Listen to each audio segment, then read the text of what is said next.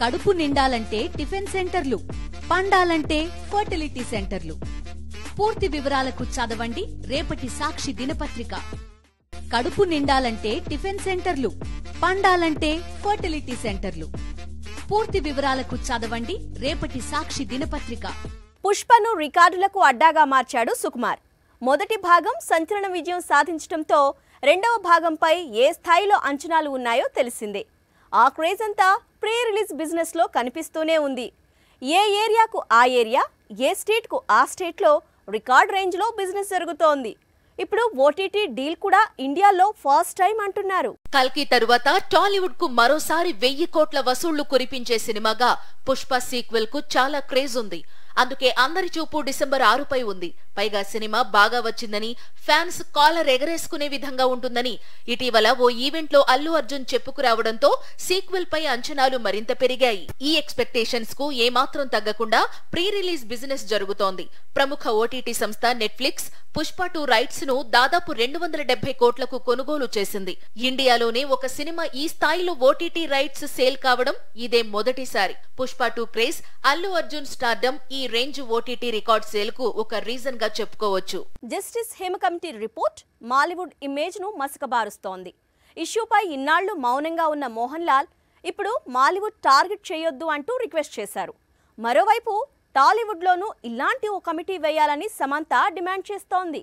కోలీవుడ్ లోనూ హేమా కమిటీ తరహా కమిటీ వేయాలని విశాల్ అడిగినట్లే టాలీవుడ్ లోనూ అలాంటి కమిటీ ఒకటి వేయాలని లేడీ సూపర్ స్టార్ సమంత తన సోషల్ మీడియా అకౌంట్ ద్వారా తెలంగాణ ప్రభుత్వానికి విజ్ఞప్తి చేసింది. దీనివల్ల విమెన్ సేఫ్టీ మరింత పెరుగుతుందని చెప్పుకొచ్చింది. మరోవైపు ఇదే కమిటీ రిపోర్ట్ పై మలయాళ సినీ పరిశ్రమ దిగ్గజం మోహన్ లాల్ స్పందించారు.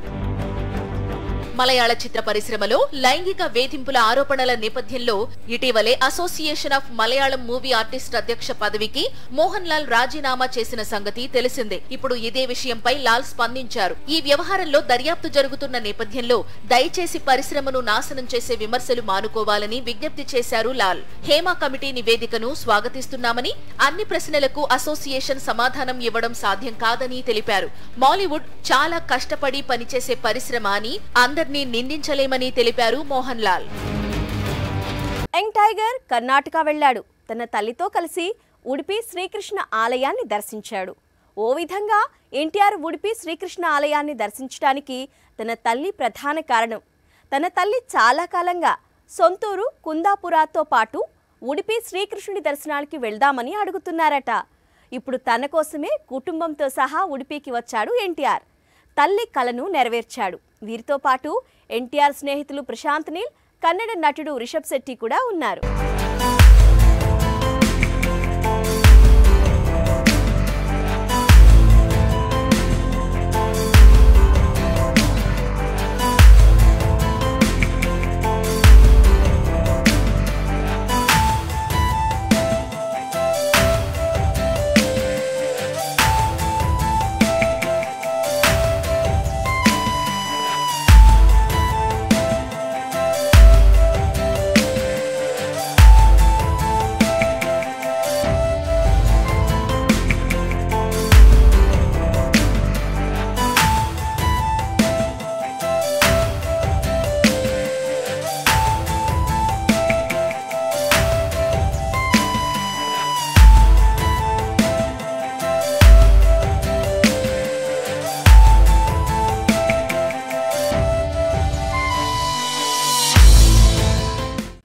హీరోని డామినేట్ చేసే విలనను చూసి ఎంతకాలమైంది?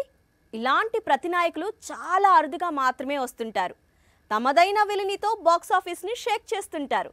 అలాంటి రేర్ విలన్ కేటగిరీలో తమిళ నటుడు ఎస్జే సూర్య చేరిపోయాడు.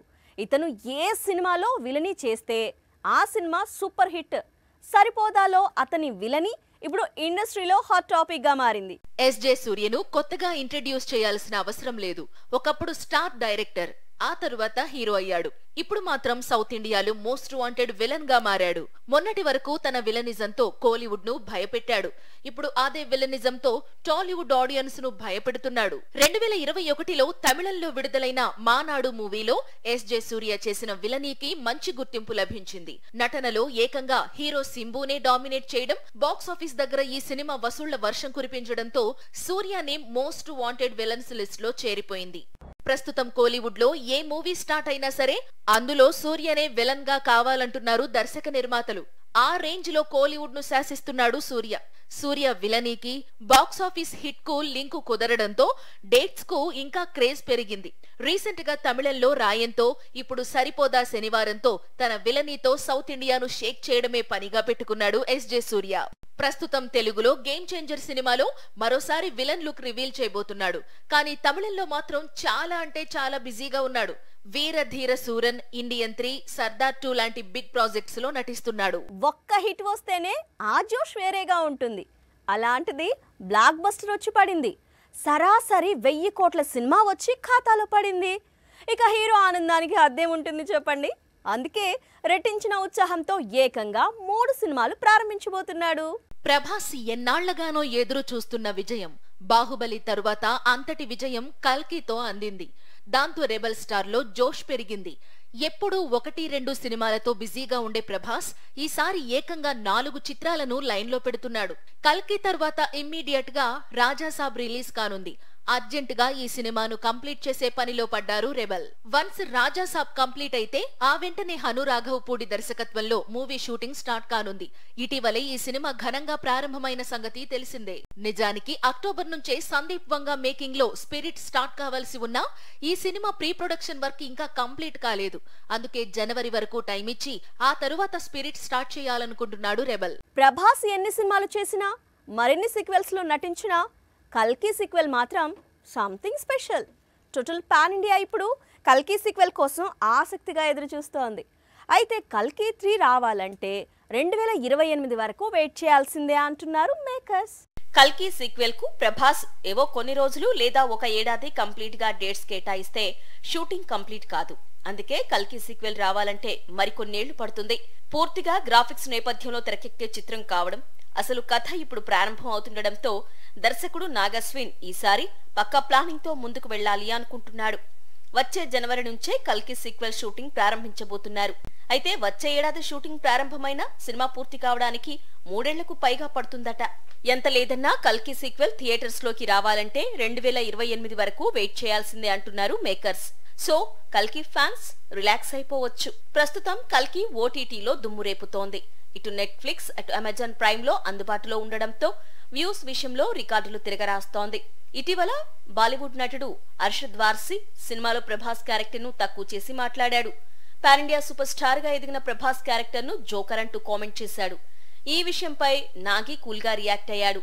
సెకండ్ పార్ట్లో ప్రభాస్ క్యారెక్టర్ బాగుంటుందని ఫ్యాన్స్కు అర్షద్కు ప్రామిస్ చేశాడు.